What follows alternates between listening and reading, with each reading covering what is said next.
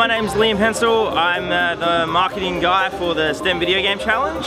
We're here at PAX celebrating the efforts of some kids in years 5 to 12. I'm Chris Rossica from the Australian Council for Educational Research and I'm the project director for the STEM Video Game Challenge. Want to tell us a bit about STEM Challenge as well? STEM Video Game Challenge is for students in primary school and high school to create their own games, so it's not just about playing, it's about creating.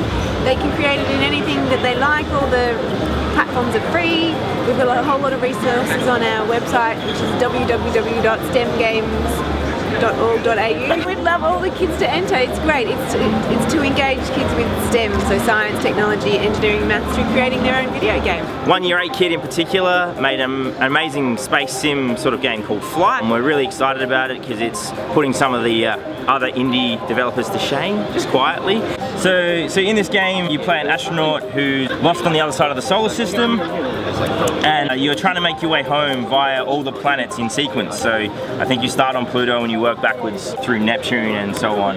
But your rocket kind of goes into a bit of a panic mode and you have to land on the planets in order and, and mine for fuel to get home. So What's the student's name? Uh, his name remember? is Daniel Blaker. And what did Daniel build this in? Uh, he programmed it in Haxe I believe. We're mining at the moment. We're mining resources for fuel, well, to make fuel. It's got a bit of a Minecraft sort of element, so you, you kind of mine your elements and then they appear over here. And then you combine them together um, by dragging and dropping um, to make different types of fuel. Uh, load it up into this slot and then I can power my rocket and get to the next planet. Fun story, uh, he was not satisfied with the way the gravity was working in the game, so he went and learned trig and then programmed his own gravity, which is super impressive for a year 8 student. That's so awesome. I don't know trig now. Yeah, he's, he's got a pretty a pretty bright future, we, we think. Um, it's excellent and I encourage everyone to come and play. Yeah, amazing. Awesome. Thank Good. you.